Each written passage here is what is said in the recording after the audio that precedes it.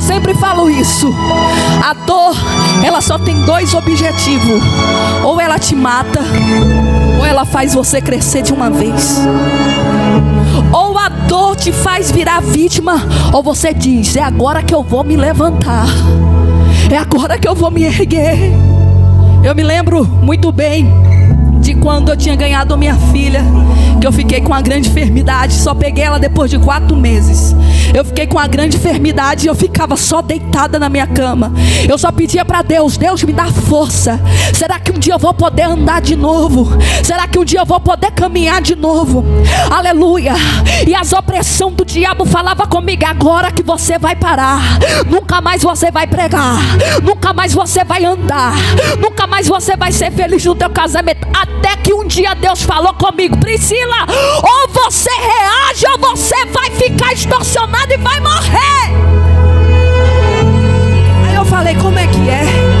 preciso reagir.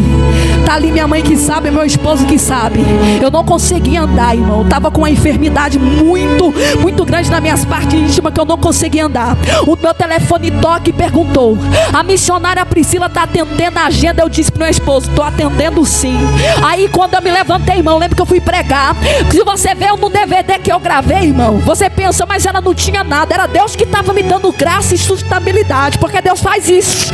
Quando a gente se levanta ele derrama uma força onde não existe.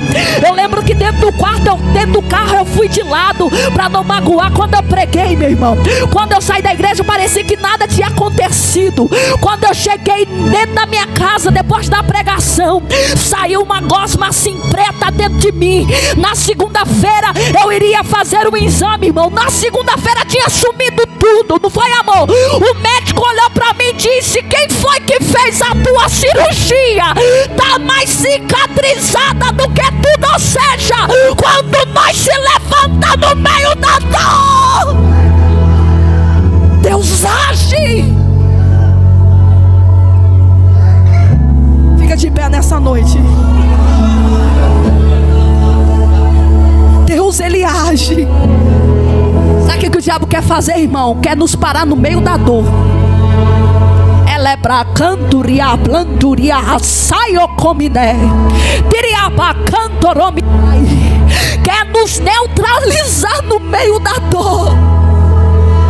Mas na dor nasce uma nova pessoa para fazer a obra. Levanta seu dedo de profeta para cima e diga: a dor não vai me parar. Vai, irmão, fala pelo amor de Deus. Não fica com essa cara morta, não. Diga: a dor não vai me parar.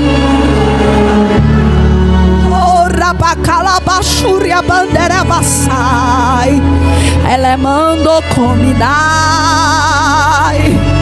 Ela mandou comer. Esse irmão lá de vermelho ali, ó, do lado da irmã da